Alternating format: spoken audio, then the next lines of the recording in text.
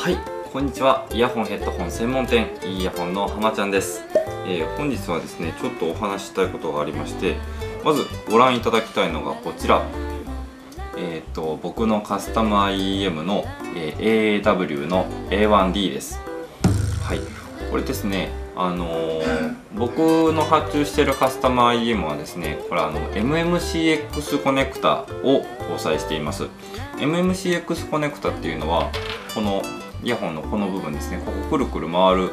タイプのコネクタになってましてケーブル着脱式のものになっています。これはあの手話とかウエストンにも採用されている、まあ、ここ最近のイヤホンでよく見るコネクタになるんですけども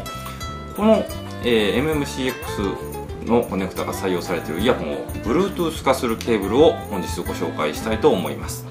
通のイヤホンですと,、えーと、音楽を聴くときにですね、まあ、どうしてもこうケーブルが必要になります、えー、ケーブルが必要になってくるとプレイヤーと、まあ、自分の耳のあたりあのどうしてもつながれてしまいますよね。このケーブルが、まあ、不自由だとここから、えー、自由になろうという風なアイテムになります。はいご紹介いたしますのはこちらのケーブル、えー、リアというブランドの、えー、BTC-01 という製品です。あのですねここに、えー、送受信、えー、受信機ですねがついておりまして Bluetooth をキャッチできるケーブルになっています。えリアというブランドはですね香港のオーディオブランドになりましてカスタム IEM とかを作ってらっしゃる、えー、総合音響メーカーという風な形で紹介されていました。ホームページの方を見てみるとカスタム IEM のラインナップがずらっと並んでいるようなそういうオーディオブランドです。こちらをですね、えー、っとお手持ちのイヤホンと合体させて手軽に Bluetooth 化できるという風なアイテムになります。コネクタのですねこの部分に小さく、えーと、L とか R とか書かれています、えー、R 側。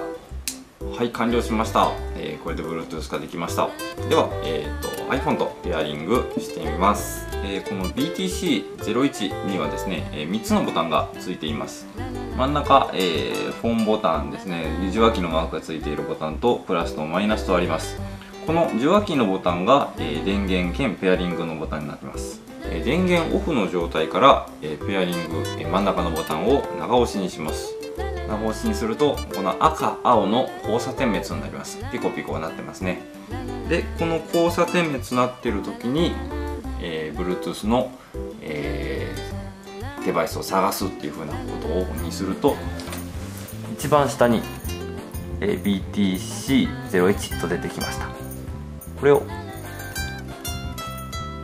選択して接続完了になります。この BTC01 なんですけども他社製品よりもちょっとだけお安いような製品になっています。価格にして約1万円でございます。えーと、例えばそのウエストンとかソニーとかの、えー、Bluetooth 化できるケーブル、えー、セットございますけれどもそちらの方と比べても、えーと、大体半分ぐらいのお値段になります。非常にお手軽な製品かと思います、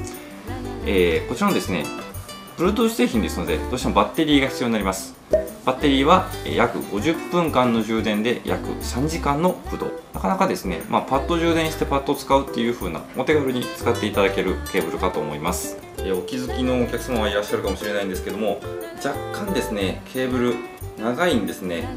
こうなりますと,、えー、っとまあ、実際装着した時にちょっとケーブルが余っちゃうかなっていう風な印象を受けます。なので、えー、僕自身はですねこれ大体のケーブルって後ろ回しにするんですけども前回しにして使っちゃった方が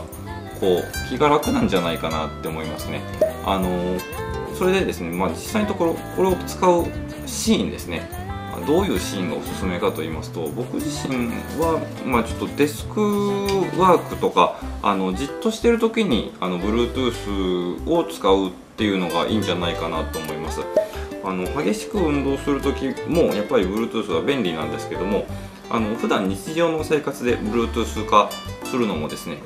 これ今意外に快適でしてあの普通のやっぱワイヤードのケーブルよりかはあの、まあ、ちょっと席立ってコーヒー取りに行ったりとかお手洗いに行ったりとかっていうのも、まあ、すごく楽ちんに快適に行えますのであの特に運動だけじゃなく普段使いにお使いいただけたらなというふうに思います。えー、最後にサウンドの傾向に関してなんですけども若干、えー、こちらの方ですねミドルの音真ん中ら辺の音ですね中音域が前にプッシュされるような感じのサウンドになります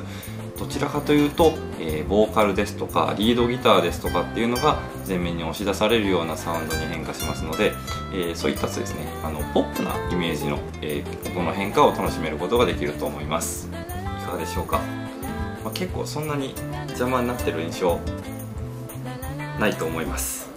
まあ、こうやって気軽に使っていただける Bluetooth かケーブルです。イヤホンの YouTube チャンネルの方をご覧いただきありがとうございます。もしよろしかったらいいねボタンの方よろしくお願いいたします。